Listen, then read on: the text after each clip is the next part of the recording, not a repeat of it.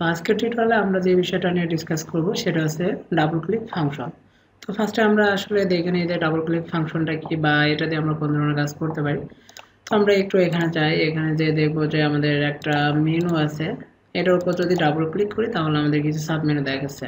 এবং দেখেন তো আমি যখন এই পেজটাকে ওপেন করতেছি তখন কিন্তু আমার সাব মেনুগুলো দেখাচ্ছে না। তো ডাবল ক্লিকের কাজটা হচ্ছে যে আমার এখানে যে মেনু আছে, এটার উপর ডাবল ক্লিক করলে কোনো একটা কাজ হবে। যেমন দেখেন যে আমি যদি এটার উপর ডাবল ক্লিক করি, তাহলে আমার এখানে কিছু মেনু দেখাচ্ছে। তো আমরা এই কাজটা যদি করতে চাই, তাহলে কীভাবে করতে পারি সেটা আমরা একটু কোডিং লেভেলে দেখতে পাই তো আমাদের এখানে একটা ফোল্ডার করা আছে, আমি এখানে যেতে পারি সরি জেস তো এখানে যে দেখব যে আমরা এটা নিয়ে কাজ করতে চাইলে আমাদের অবশ্যই এস্টামেল কিছু কোড লিখতে হবে প্লাস আমাদের যে করে ফাইলও লাগবে। তো আমাদের এখানে যে পেজটা আছে ইন্ডেক্স ডট পিএসপি এই পেজটাকে যদি আমরা ওপেন করি, তাহলে এখানে আমাদের কিছু কোড লেখা আছে বা আমরা এখানে এগুলো লিখব। তো এটাকে বাদ দিই। দেওয়ার পর আমাদের একটা যে করে পেজ লাগবে, যেখানে আমরা যে করে কোডগুলো লিখব। তো এখানে আমি এটাকে ওপেন করি। তো এখানে আমরা দেখব যে আমাদের একটা এস্টেমেল পেজ আছে। তো আশা করি যে যারা যেগুলো নিয়ে কাজ করবেন তারা আগে থেকে এস্টেমেল নিয়ে কাজ করছেন বা এগুলো বুঝেন। এখানে আমাদের সিএসএস এর একটা লিঙ্ক আছে, যদিও আমাদের এখনই সিএসএস দরকার হবে না তারপর আমার লিঙ্কটা করা আছে। তো এস্টেমেল যে স্ট্রাকচার এই স্ট্রাকচারটাই এখানে আছে। আর এখানে আমাদের একটা ফাইলের সাথে লিঙ্ক করা আছে, সেটা হচ্ছে জেকুরি ডট জেএস কোনো ফোল্ডার আছে? জেএস নামক ফোল্ডারে তো আমরা এখানে যদি দেখি, তাহলে দেখব যে আমাদের জেএস নামক একটা ফোল্ডার আছে। এই ফোল্ডারে জেকুরি ডট জেএস নামক একটা পেজ আছে।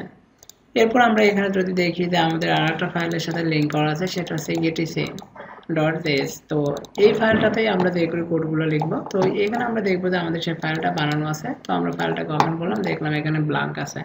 তো আমরা এখানে আর কি যে করে কোডগুলো লিখব। তো আমাদের ফার্স্টে কিছু একটা করতে হবে, সেটা হচ্ছে যে আমাদের একটা মেনু বানাইতে হবে। মানে আমাদের এইচটিএমএল কোডটা আমরা লিখে ফেলতে পারি। তো আমরা এখানে লিখতে পারি এইচরেফ এখানে আপাতত কিছু না দিই হ্যাশ দিয়ে রাখি। আর এখানে একটা আইডি ডিক্লেয়ার করলাম, বলি যে মেনু, লিঙ্ক। একটা যাই হোক আমরা নেম দিলাম, আর এখানে আমরা অ্যাঙ্করটাকে শেষ করে দিলাম। এখানে জাস্ট মেনু লিখে রাখলাম। এখন এটার উপর ক্লিক করলে আমার কিছু সাব মেনু আসবে। তো সাব মেনুগুলো তো আগে আমাদেরকে বানাইতে হবে। তো আমরা এখানে একটা ট্যাগ নিলাম ডিভ এখানে একটা ক্লাস অথবা আইডি যাই হোক কিছু একটা আমরা নিতে পারি। সবচেয়ে বেটার হয় আমরা আইডি নিই। আইডি তো এখানে আমরা আইডিতে বলে দিতে পারি যে সাব আর আন্ডারস্কোর দিয়ে মেনু ডিপটাকে শেষ করে দিলাম। এবং এর মধ্যে আমরা একটা আনডিফাইন্ড লিস্ট বানাইতে পারি।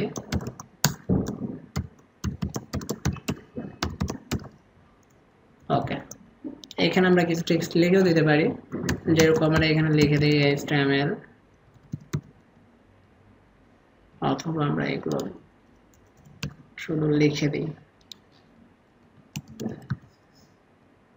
এখানে বলি পিএসপি আর এখানে লিখতে পারি মাইস্কেল আমরা আরও কিছু লিখতে পারি যে এখানে আমরা আরও ইচ্ছা করে লিখতে পারি, তো আমি আর লিখলাম না। ওকে তো আমাদের আনডিফাইন্ড যে লিস্ট আছে, এটাকে আমরা শেষ করে দিলাম। এখন ব্যাপারটা হচ্ছে যদি আমরা এটাকে রান করি, তাহলে কি হবে? তো আমরা এখানে একটু যাই। এখানে যে দেখব যে ওকে আমাদের মেনু আছে এবং এখানে আমাদের কিছু সাব মেনুগুলো আছে। ব্যাপারটা হচ্ছে যে, এটা দেখেন, আমাদের কিন্তু সরাসরি দেখাচ্ছে যে, আমরা যখন পেজটাকে ওপেন করতে চাই, আমরা যখন পেজটাকে ওপেন করব, তখন কি হবে? এগুলো হাইড অবস্থায় থাকবে, এটা দেখাবে না। কিন্তু আমরা যখন এই মেনু নামক এই বাটনে ডাবল ক্লিক করব, তখনই শুধু আমাদের এই জিনিসগুলো দেখাবে। আমরা এটাই করতে চাচ্ছি কিন্তু আমরা ডিফল্ট দেখেন, যখন পেজটাকে ওপেন করতেছি, তখন কিন্তু আমাদের সাব মেনুগুলো দেখাই দিচ্ছে। তো আমরা যদি এগুলোকে হাইড করতে চাই, তাহলে আমরা এখানে দিতে পারি। এই যে এখানে যেটা আছে, অথবা আমাদের যে ডিপ আছে, আমরা ডিপটাকে হাইড করে দিতে পারি। তো এখানে সিএসএস কোড আমরা একটু লিখে দিতে পারি। স্টাইল এখানে বলি ডিসপ্লে না যে আমাদের ডিসপ্লেটা দরকার নেই। সেই ক্ষেত্রে আমরা ওটাকে যদি নান করে দিই, তাহলে এখানে রিলোড দিয়ে দেখি যে আমাদের শুধু মেনু নামক টেক্সটাই দেখাচ্ছে, কিন্তু আমাদের সাব মেনুগুলো দেখাচ্ছে না। এখন আমরা একটা কাজ করব, যেটা হচ্ছে যে এটার উপর ডাবল ক্লিক করব। ওয়ান ক্লিক না, এটার উপর যদি ডাবল ক্লিক করি তাহলে আমাদের মেনুগুলো শো করবে। তো আমরা যদি এই কাজটা করতে চাই, তাহলে আমাদের কি করতে হবে? আমাদের সরাসরি যেগুলো কোড লিখতে হবে। আমরা কি করতে পারি? যে যেহেতু আমাদের একটা এক্সটার্নাল যে যেগুলি ফাইল বানানোই আছে, যে ইউটিসি ডট জেএস নামক আমাদের একটা ফাইল বানানো আছে, সেখানে আমরা কোডগুলো লিখব। তো এখানে আমরা যাই, এখানে যে বলতে পারি যে আমরা ক্লিক করব ডাবল ক্লিক করব কোনটার উপরে? যে আমাদের সাব মেনুগুলো দেখাবে কোনটার উপর ক্লিক করলে দেখাবে। আমাদের এই যে এখানে যে মেনু নামক বাটন আছে বা টেক্সট আছে, এটার উপর ডাবল ক্লিক করলে তাহলে আমাদের সাব মেনুগুলো আমরা দেখাতে চাচ্ছে। তো সেক্ষেত্রে আমরা একটু এখানে খেয়াল করব যে আসলে আমরা ক্লিক করতেছি কোনটার উপর, এই মেনু নামক টেক্সটের উপর। তো দেখেন যে এখানে একটা আইডি আছে, তো আমাকে সিলেক্ট করতে হবে এই আইডিটা দিয়ে। যে আমি যে মেনুর উপর ক্লিক করতেছি কিনা, এটাকে তো আমাকে সিলেক্ট করতে হবে। কীভাবে করতে পারি? এই আইডিটাকে ধরে আমি সিলেক্টটা করতে পারি। তো কী করতে পারি, এখানে জাস্ট লিখতে পারি যে হ্যাশ এখানে আমাদের আইডি নেম দিয়েছিলাম কি আমরা? যে মেনু লিঙ্ক তো এটাকে আমরা কপি করে দিলাম এখানে। তো এখানে দেখেন হ্যাশটা আমরা কেন দিলাম? কারণ আমরা যে মেনু লিঙ্ক নামে যে টেস্টটা লিখছি, এটা কিন্তু একটা আইডি যেহেতু আইডি যার জন্য আমরা হ্যাশ দিয়েছি, যদি ক্লাস হতো তাহলে কিন্তু আমরা ডট দিতাম। তো এখানে আমরা লিখতে পারি যে টিবি এল ক্লিক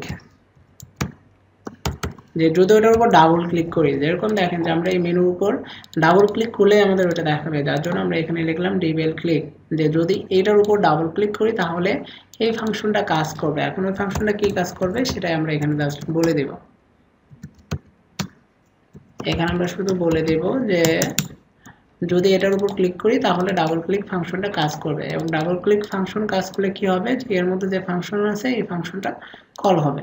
এখন আমরা সিম্পলভাবে এখানে বলে দিতে পারি যে, যদি এটার উপর ডাবল ক্লিক করি, তাহলে কি হবে? আমাদের এই সাব মেনুটাকে আমরা শো করব। এখন সাব মেনুটার এখানে দেখেন একটা আইডি আছে, যে আমরা একটা আইডি ডিক্লেয়ার করছিলাম আইডি নেম দিয়েছিলাম সাব মেনু যে এটাকে ধরে শুধু আমরা শো করে দিব। তাহলে কি করতে পারি? এখানে বলতে পারি যে ডলার সাইন হ্যাশ আর আমাদের আইডিটা ছিল সাব মেনু যদি এটার উপর ডাবল ক্লিক করি, তাহলে কি হবে? সাব মেনুটা শো হবে। তাহলে এখানে ডট দিয়ে আমরা বলে দিতে পারি শো তাহলে ব্যাপারটা কি হবে? যে আমাদের মেনু লিঙ্ক নামে যে আইডি আছে, দেখেন, যে আমাদের এখানে যে আইডি আছে, আমরা যদি এটার উপর কি করি?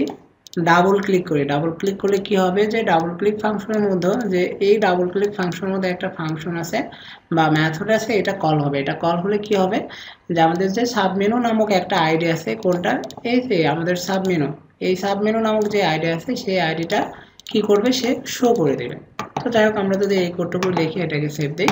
তো এখানে একটা রিলোড দেই বা একটু বেশি রিলোড দিই, কারণ যে কোডগুলো একটু লোড হতে সময় নেই তো রিলোড দিলাম।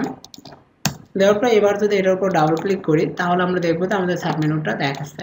আমরা যদি একটু ভালো করে দেখি, তাহলে দেখব যে আমরা যখন পেজটাকে ওপেন করতেছি, তখন কিন্তু আমাদের সাব মেনুগুলো দেখাচ্ছে না। এবং এই মেনুর উপর যদি আমরা একটা ক্লিকও করি, তাহলেও কিন্তু দেখাচ্ছে না। তো সাব মেনুটা আমার কখন দেখাচ্ছে যে আমি এটার উপর যদি ডাবল ক্লিক করি? ডাবল ক্লিক করলে কেন দেখাচ্ছে? কারণ আমরা এখানে যে মেথডটা ইউজ করছি, সেটা হচ্ছে ডাবল ক্লিক যে আমি যদি এই আইডির উপর মানে হচ্ছে যে আমার এই মেনুর উপর যদি আমি ডাবল ক্লিক করি, তাহলে কি করবে? সে সাব মেনুটাকে শো করে দেবে। কোনটাকে শো করবে? এই সাব মেনুটাকে সে শো করে দেবে। আশা করি সবাই ডাবল ক্লিক সম্পর্কে বুঝতে পারছেন বা জানতে পারছেন। এটা নিয়ে আসলে আমরা খুব বেশি কাজ করি না। তারপর আমার এটা দেখানোর উদ্দেশ্য একটাই যে, ভবিষ্যতে যদি কখনো আমরা এই ফাংশনটা দেখি, এটা থেকে আমরা অবশ্যই ঘাবড়াবো না বা এটা নিয়ে আমরা কাজ করতে পারব। তো যাই হোক, সবাইকে নেক্সট টিউটোরিয়ালের জন্য স্বাগত জানিয়ে শেষ করছি। আল্লাহ হাফেজ।